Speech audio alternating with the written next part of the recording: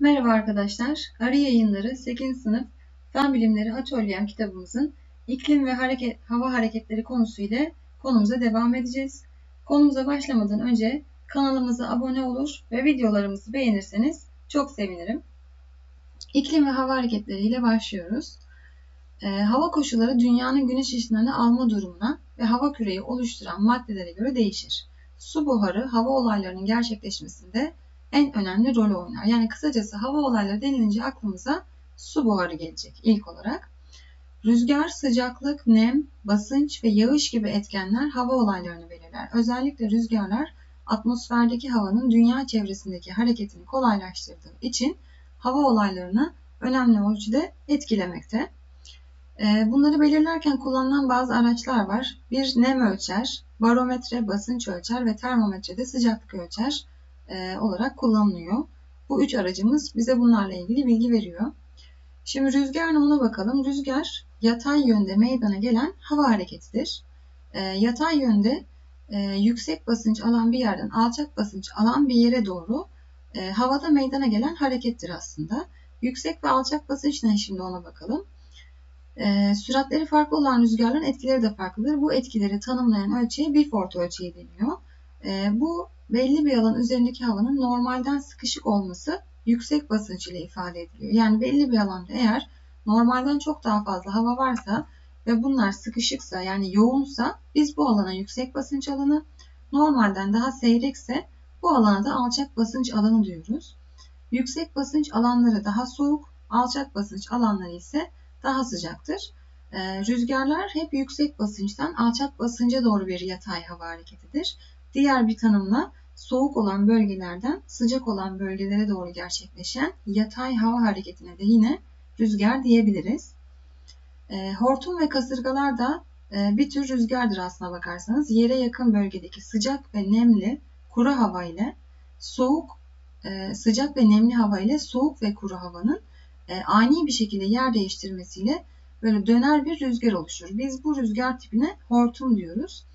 E, hortumun küçüğüne de şeytan kulesi, daha şiddetli olanına da yani yaklaşık süreti e, saatte 118 kilometreye ulaşana da kasırga adını veriyoruz. Nem nedir denildiğinde ise nem havadaki su buharıdır kısaca. Sıcaklık arttıkça nem de doğru orantılı bir şekilde olarak artar. Ee, eğer nemli hava gökyüzüne yakın yerlerde yoğuşuyorsa 3 tane farklı durum gözlemliyoruz. Bunlar yağmur, kar ve dolu. Yağmura bakalım. Havadaki nemin yoğuşmasıyla oluşan minik su damlacıkları bulutları oluşturur. Bulutlardaki su damlacıkları da birleşerek yağmurun oluşmasını sağlar ve bu şekilde yeryüzüne düşerler. Kar dediğimiz havadaki nem soğuk havanın etkisiyle buz kristallerine, buz kristalleri de birleşerek kar tanelerine dönüşür. Bu şekilde kar oluşur. Ve son olarak dolu bulutlardaki su damlacıkları birleşiyor ve soğuk havanın etkisiyle donarak küçük e, buz topları şekline dönüşüyor. Buna da dolu diyoruz. Eğer nemli hava yeryüzüne yakın yerlerde yoğuşursa 3 tane yine durum gözlemliyoruz. Çiğ, kırığı ve sis. Çiğ dediğimiz havadaki nemin işte toprakta, ağaçlarda, yapraklarda bu gibi yerlerde yoğuşmasıyla oluşan küçük su damlacıkları.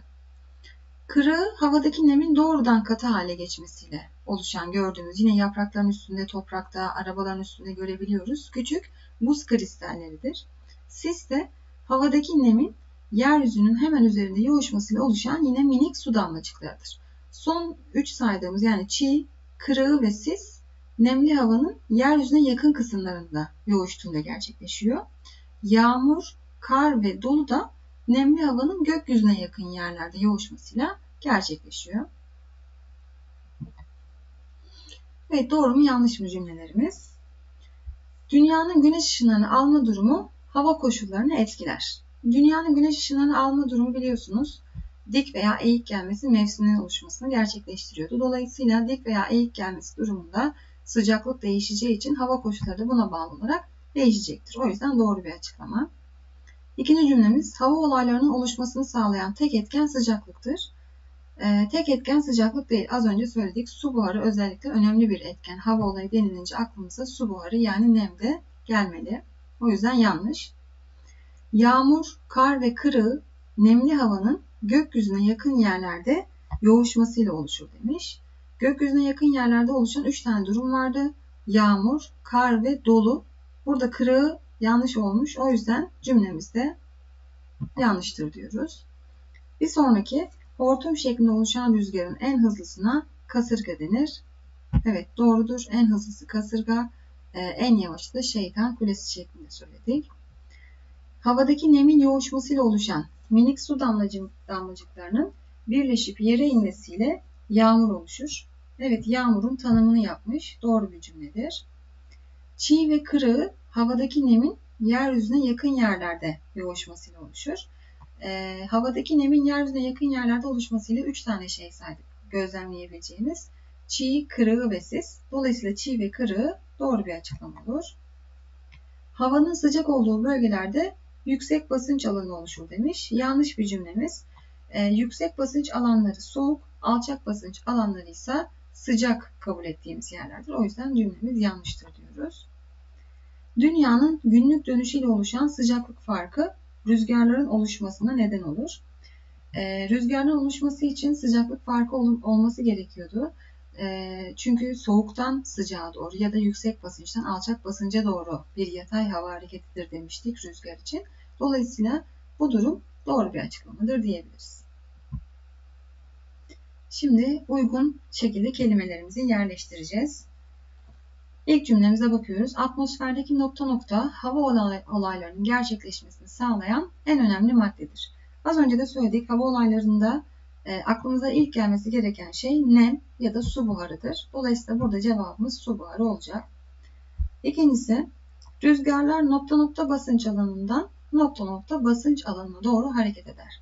Rüzgarlar her zaman yüksek basınç alanından alçak basınç alanına doğru hareket eder ya da soğuk alandan sıcak alana doğru hareket eder diyebiliriz. O yüzden bu şekilde yerleştirdik.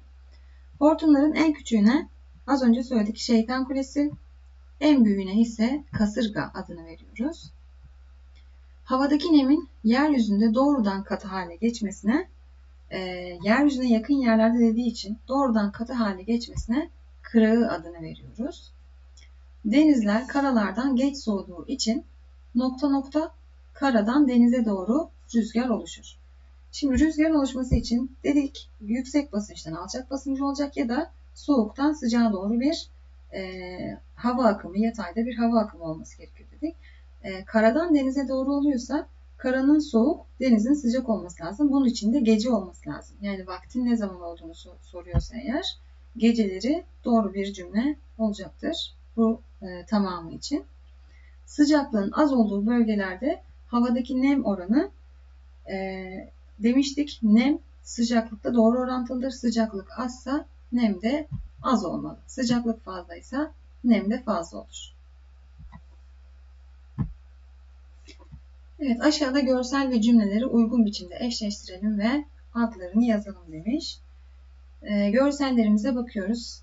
E, ilk resmimize bakalım. İlki bir hortum gördüğünüz gibi. Şimdi aşağıda hortumun tanımını bulmaya çalışalım. Ya da tek tek harf, harfler neyin tanımını yapmış onu bir önce bulalım. A'yı okursak e, yatay yönde oluşan hava hareketidir. Yatay yönde oluşan hava hareketine biz rüzgar diyoruz. Dolayısıyla bakalım resimlerimizden rüzgara en uygun olan evet sonuncu resmimiz. Buna A rüzgar diyebiliriz. İkinci açıklamamızı okuyalım. B'de ne demiş? E, nemin buz kristallerine dönüşüp birleşmesidir. Şimdi nem buz kristallerine dönüşüp birleşiyorsa bu kardır. E, hangi görselde karı temsil ediyor? Evet bu görselimiz gördüğünüz gibi üçüncü resmimiz kar temsili olduğu için bunu işaretledik. C'yi zaten açıklamış yağmur demiş. D sıcak havanın soğuk hava ile aniden yer değiştirmesidir. Ee, sıcak hava ve soğuk havanın aniden yer değiştirmesine biz hortum diyoruz. Dolayısıyla bu da ikinci resmimizle uygun bir eşleştirme olacaktır. Sonuncusu da yağmur damlalarının soğuk hava ile karşılaşıp buz toplarına dönüşmesidir. Bu durum dolunun açıklaması. E, verilen görselde gördüğünüz gibi e, buz toplarından bahsetmiş. Yani bir dolu resmi var. O yüzden de açıklamamız buradaki resimle eşleşecek. Evet, bize bir açıklama vermiş. Bu açıklamada bağımlı değişkeni, bağımsız değişkeni ve kontrol edilen değişkeni bulmamızı istemiş. Pencereleri ve kapısı kapalı bir oda içerisinde gaz lambası üzerine kağıt şeridi şekildeki gibi tutup bir süre gaz lambasını yakarak havadaki sıcaklık değişimi rüzgar oluşumunun nedenidir hipotezini doğrulamak istersek yaptığımız etkinlikteki değişkenler ne olur? Şimdi yaptığımız etkinlikte bağımlı değişken, bağımsız değişken ve kontrol edilen değişkenleri bulmamız gerekiyorsa e, bu durumu yani rüzgarın oluşumunu neyin etkilediğini bulmamız lazım. Rüzgarın oluşumunu ne etkilemiş bakalım? Havadaki sıcaklık değişimi. Dolayısıyla bağımsız değişkenimiz havadaki o sıcaklığın değişimi. E, buna bağlı olarak değişen şey de rüzgarın oluşumu yani kağıdın hareketlenmesi aslına bakarsanız. E, kontrol edilen değişken de sabit tutulan durum. Yani bu ortam da olabilir. E, işte kullandığımız gaz lambasının kendisi de olabilir. Yani sabit tutulan her ne varsa bu kontrol değişkenidir. Burada ortam demiş. Bağımsız değişkenimiz az önce söyledik sıcaklığımız. Sıcaklığımız değiştikçe e, rüzgar oluşumu gerçekleşiyor. Dolayısıyla bağımlı değişkenimiz de rüzgarın oluşumu. Yani kağıdın hareketlenmesidir diyebiliriz. Bulmacamıza geçtik. Birincisiyle başlayalım. Dünyanın günlük dönüşüyle sürekli devam eden hava olayıdır. Biz buna ne diyoruz? Sürekli dün, e, gün içerisinde günlük e, olarak hava olayı rüzgar. Çünkü günlük dönüşü bir rüzgarı oluşturur. E, yüksek basınçtan alçak basınca doğru yatay hava hareketi rüzgarın tanımıdır. İkincisi hortumların en küçüğü. Hortumların en küçüğüne şeytan kulesi diyoruz. Yataydan devam edecek olursak 4 ile devam edelim. Havadaki nemin yeryüzünün hemen üzerinde yoğuşmasıyla oluşan minik su damlacıkları. Yani minik su damlacıklarımız e, yeryüzüne yakın yerlerde olduğu için buna biz sis adını veriyoruz. 7. Havadaki nemin yeryüzünde doğrudan katı hale geçmesi. Yine yeryüzünde dediği için kırığı e, olarak isimlendiriyoruz. Yeryüzüne yakın yerlerde bir daha söyleyecek olursak çiğ, kırığı ve sis. E, gökyüzüne yakın yerlerde ise yağmur, kar ve dolu şeklinde kendini gösteriyor. Yataydan devam edelim. Soldan sağa. Hızı 118 km bölü saate ulaşan hortum çeşidi. Biz bunu az önce de söyledik. Kasırga diyoruz. Kuvvetli bir e, hortum çeşidi. 5. Havadaki su buharı. Havadaki su buharımız nem. İkisi de kullanılıyor. Nem ya da su buharı diyebiliyoruz. 6. Soğuk hava etkisiyle yağmur damlalarının buz toplarına dönüşmesi. Soğuk havanın etkisiyle yağmur damlaları eğer buz topuna dönüşüyorsa yani gökyüzüne yakın yerlerde bu durum gerçekleşiyorsa buz topu dediği için zaten dolu aklımıza gelecek olan ilk açıklama. 8 farklı hızlar, hızlardaki rüzgarların etkilerini gösteren ölçektir. Biz buna Beaufort ölçeği diyoruz. Ee, rüzgarların hızlarına göre gruplandırılma yapılan bir ölçek türü. 9'da havadaki nemin toprak, yaprak üzerinde yoğuşmasıyla oluşan su damlacıklarıdır. E, bu da çiğ dediğimiz yine yeryüzüne yakın yerlerden bahsettiği için e, bu su damlacıklarına çiğ adını veriyoruz. Son olarak da havadaki su buharının gökyüzünde buz kristallerine dönüşmesi. Gökyüzü dediği için kar olarak bunu da söyleyebiliriz. Evet aşağıda verilen araçlardan hava olaylarını belirlemede kullanılabilecek olanları işaretleyiniz. 3 tane araç saymıştık bunun için bize yardımcı olan. Nem ölçer, yani havadaki nemin miktarını ölçen, barometre basıncı ölçer, termometre de sıcaklık ölçer. Bu üçü bizim e, hava olaylarını belirlememizde kullanılan e, araçlar diyebiliriz. E, atmosferdeki hava içerisinde bulunan maddelerden hangisi hava olaylarının gerçekleşmesinde en önemli rol oynar nedeniyle birlikte açıklayalım. Şimdi en önemli rolü oynayan e, az önce de söyledik nem ya da su buharıdır. Çünkü nem ya da su buharı işte yağmurun, karın, çiğin, dolunun, kırığın, sisin hepsinin oluşmasında etkili olan bir olaydır. Çünkü su buharının aslında hepsi hal değişimiyle gerçekleşir. Dolayısıyla su buharı temelde en önemli olan faktördür diyebiliriz. Evet kavram haritası vermiş ve kavram haritasında uygun boşlukları e, tam boşlukları uygun kelimelerle tamamlayacağız. Şuradan başlayalım. Nokta noktaya yakın yerde yoğuşursa. Şimdi bir tanesini vermiş kar. Kar nasıl oluşuyordu? Gökyüzüne yakın yerlerde. Öyleyse ilk şurası gökyüzüne yakın yerlerde yoğuşuyorsa diyebiliriz. Su damlacıkları demiş. Su damlacıkları neyin tanımı olabilir gökyüzüne yakın yerde? Üç tane durum vardı. Birisi kar, birisi yağmur, birisi de dolu. Dolayısıyla su damlacığı dediği için şurası yağmur, Buz topu dediği için burası da dolu olacaktır. Karın tanımına da biz buz kristalleri diyebiliriz. Bu şekilde isimlendiriyoruz. Hemen altından devam edecek olursak nokta noktaya yakın yerlerde yoğuşursa yani yeryüzüne yakın yerlerde eğer yoğuşursa yine 3 tane durum gözlemliyorduk. Çiğ, e, kırığı ve sis. Şimdi hangi tanım hangisiyle eşleşecek ona bir bakalım. Yüzeydeki su damlacıklarıdır. Su damlacı dediği için çiğ. Buz kristalleridir. Buz kristalleri dediği için kırığı. Ve yüzeyin hemen üstündeki su damlacıkları diyorsa yani birazcık daha yüzeyden hafif yükselmiş demek istiyorsa bu da sisi açıklar bize. E, arttıkça oranı artan şey. Şimdi sıcaklık arttıkça nem artar. Dolayısıyla ikisi de doğru orantılıdır. Sıcaklık artıyorsa burası da su buharı ya da nemdir diye açıklayabiliriz. Yanda resmi verilen hava olayı nasıl gerçekleşir? Hızlarına göre çeşitleri nelerdir demiş. Ee, yanda verilen hava olayı bir hortumu e, ifade ediyor. Yani aniden e, sıcak ve nemli bir havanın e, soğuk ve kuru bir havayla yer değiştirmesine biz ani yer değiştirmesine e, ve döner bir rüzgar çeşidine hortum diyoruz. Hortumun en küçüğüne şeytan kulesi, en büyüğüne de kasırga adını veriyoruz. Bu şekilde ifade edebiliriz. Orta, orta bir hortumdan yani orta bir rüzgar şiddetinden bahsediyorsak buna da hortum diyoruz zaten. Evet aşağıda görselde denizlerin karalardan daha geç ısınması nedeniyle oluşan rüzgar görülmektedir. E, görselde harflerle ifade edilen olayları aşağıdaki kutucuklardan bularak eşleştirelim. Şimdi verilen K, L, M ve N e, şeklindeki alanlardan e, hangi açıklama ona en uygunsa onu seçeceğiz. Şimdi bakıyorum bu bölgede hava ısınıp yükselir, hava basıncı düşer.